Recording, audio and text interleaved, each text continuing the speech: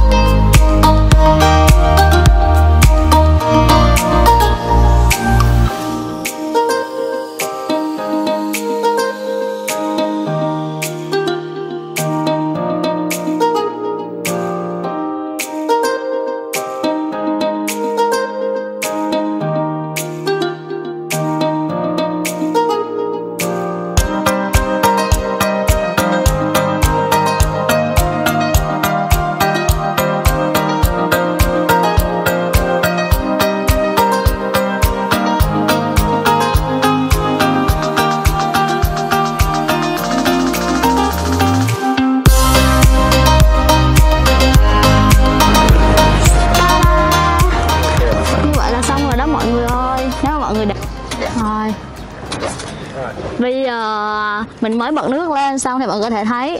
Đây. Đó nó sẽ chảy hai bên như vậy.